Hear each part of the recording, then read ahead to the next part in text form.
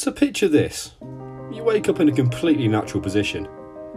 The day's full of potential. You're absolutely gassed. First things first, you hydrate yourself with a bottle of Hobgoblin Gold. Ah, simply decadent.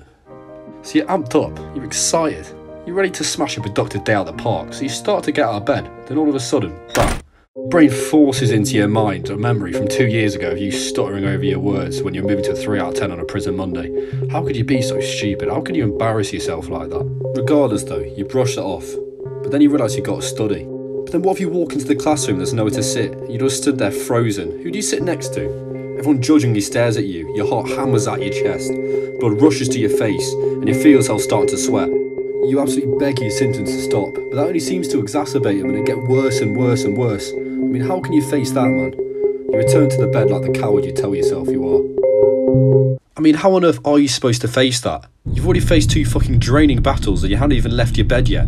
How on earth are you supposed to climb the Mount Everest of difficulties that is life when you can't even get out of fucking bed?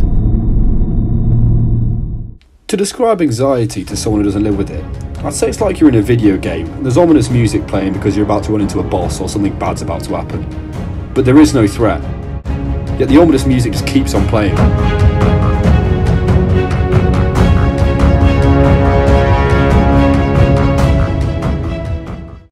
In my experience, anxiety is a vicious cycle of overthinking, and your brain fabricates dangers that don't even exist. And this leads to irrational fears, such as, you know, fearing walking down the street because you might get hit by a car.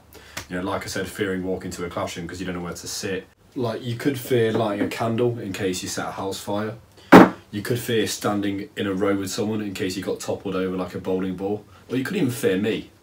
Maybe that last one isn't quite rational, But still, you see how rational these thoughts are, and like they hold no weight whatsoever. But you still think them, and you still fear them in everyday life. Now, these fabricated dangers feed each other until your brain's nothing but one big roaring monster of paranoia, fear, low self-esteem, and every shitty memory you've ever had compacted into one.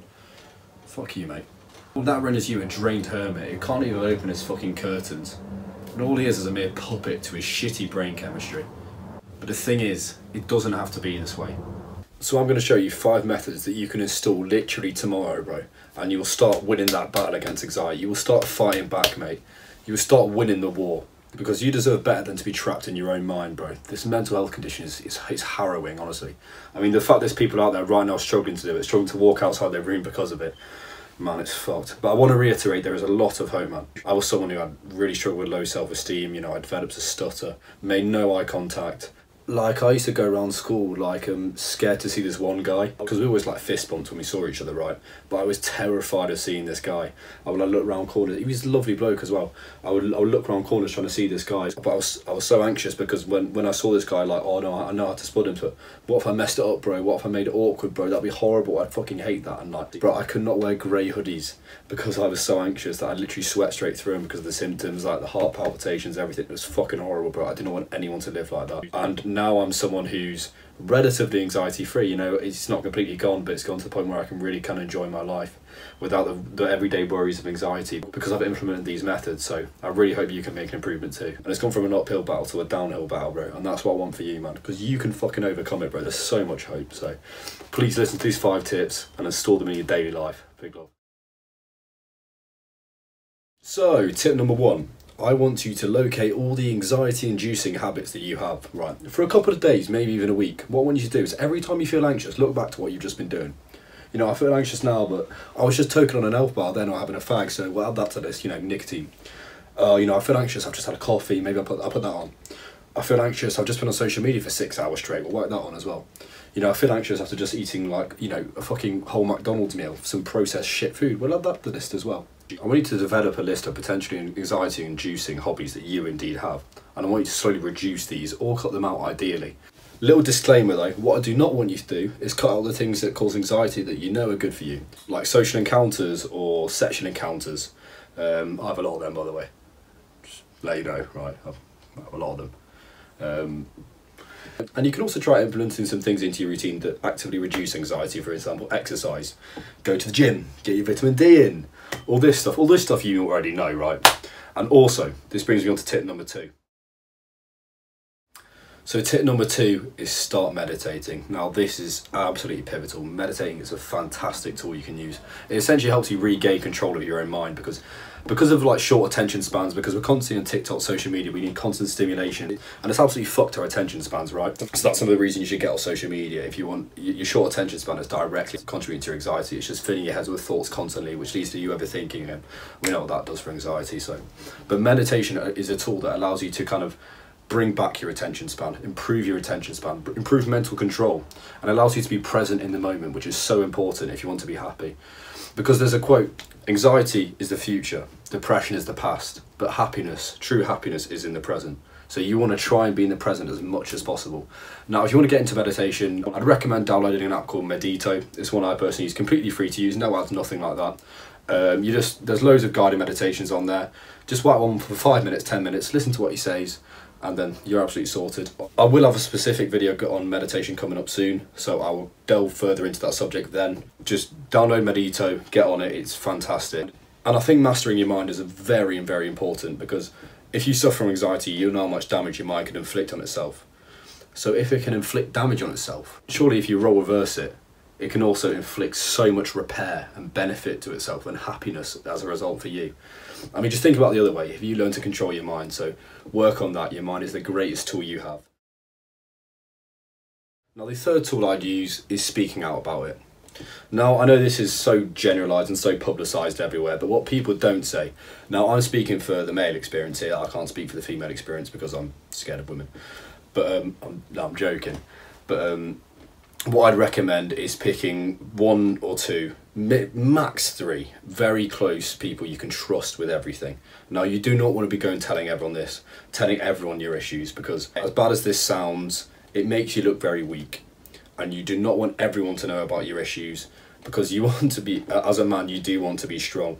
That doesn't mean you can't admit weakness to your closest friends, but if you go around spreading it everywhere, there will be very negative consequences for you. So I'd recommend just picking a few friends you trust, like really trust, and ideally, in an ideal world, people who you recognise suffer from anxiety through the symptoms as well. So maybe you can get two birds in one stone and you can both talk about it and both benefit from that. But I think really, um, once you identify it as a bit of an issue, uh, and you speak out about it, your friends can help you with that as well. They can they can recognise when you're uncomfortable in situations. It really does help to have a friend in this. And uh, once once you've spoken out about it, you know it's the first step to addressing it and you know improving it really. Yeah, you're right, boys. It's editing Patrick out. I just want to say about speaking out about it. It's not as terrifying as you think. Just do it in a conversation where your mate's exposing something like from him, one of his secrets as well. Then you can just slide it in. Honestly, people are so understanding about it. You'll never get a negative reaction to it. I know it's terrifying, but first, that's another step in your fight against your anxiety.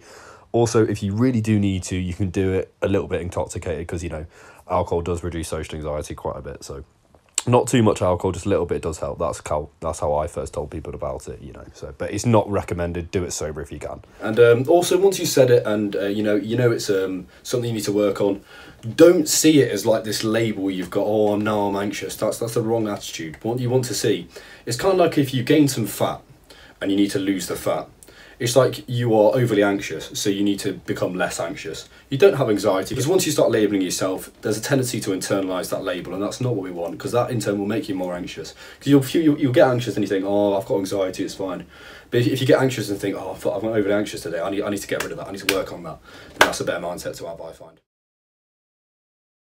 Now, step four. Now, this is a massive issue, not just in terms of anxiety, but in general and this is treating the source, not the symptoms. So um, the common method once you realise that you're suffering from anxiety is to go on pharmaceutical drugs. Now I've never tried these. Uh, I've done some research into them. I'm not massively knowledgeable on them, but from my experience, what they tend to do is treat the symptoms, and that is not what we want to do here. Because although yes, you may get some relief from it, it's not going to solve the underlying issues. And I think um, anxiety is built upon a lot of issues that are deep within, or maybe not so deep within, but you need to solve yourself. And I think it's way better that you try every single method you can in order to combat the anxiety and try and defeat it, because that will be so much healthier for you if you can defeat the anxiety by your own means as opposed to just pharmaceutical drugs. I think they have to be a last, last resort. Like I heard Hamza have this analogy. You know, um, if you've got a pebble in your foot, you don't just take an aspirin for it, do you? You take the pebble out of the foot. So go to the source and solve and fight the source as opposed to just trying to treat the symptoms. Now, my final tip, tip five, is try and locate the sources of this anxiety. I you know I said deal with the sources in the previous step, but I specifically alleviate into physical sources here. So, for example, for me, a lot of it was um, unhappiness with the way I looked. I was quite fat. I was very fat. I was like 106 kg. I had stretch marks, which I hated. I had acne, which I hated. I hated the way I looked. So I'd say work on yourself as well, your physical appearance, if that's a source of anxiety for you, and do what you can to combat that as well. And then you'll see some of the anxiety alleviated through that method. Or if it's a deep-rooted mental issue that's causing it, uh, I'd say perhaps do whatever you can to solve that as well. I'm not going to comment on that too much because for me, I found anxiety is more caused from low self-esteem in terms of like how I physically looked as opposed to like mental trauma or something. So I'm not going to try and give you advice on something I don't know about. That's that will be completely irresponsible. But I'd say do your own research into that and um, see what you can do on that front. Perhaps contact a therapist. But uh, yeah, try and uh, root out the sources and deal with them. But getting in the gym is never going to hurt you, so you know, may as well do that as well. Now, boys, if you want another video like this, because I really don't want to rush any tips or anything, I want to give as much detail as I possibly can for all of them. I'll be very happy to do another video of this same format uh, because I believe there's a lot more tips which I could offer, but I don't want to just rush them and cram them all onto one video. I want to give it the quality time that it deserves because I actually want to try help some people out this video because anxiety truly is fucking horrible, man. And I know how rough it can be. Little message if you're suffering with that right now. Hang on in there, mate, and start to fight it, bro. Start to fight as hard as you fucking can, bro because there is nothing more beautiful than overcoming it, bro. It's like you've been walking with a fucking weighted vest all your life and you get to take that weighted vest off, bro. It's fantastic, mate. And I really do hope you get to feel that one day. So keep on working on it. Use the tips in this video. Um, and yeah, I think we'll leave it there. Thank you very much for watching. I really do appreciate it. Uh, you know, like, comment, subscribe, all the good shit. If you want to ask me anything in the comments, let me know. Or if you want to critique me on anything, let me know as well. I'll be happy to see it. And I'm not quite sure how you could contact me. I think I do have an email, but if anyone's having any issues or anything, I'll be happy to respond. I'd happily take the time out of my day to try and help you out. So, you know, don't be ashamed to drop me a message. I'm also there. I'll see. I'll make sure my email or something's there so you can contact me. And yeah, man, best of luck with your mental health journey. I really do hope it improves. Thank you for watching, boys. Big love, and I will see you soon.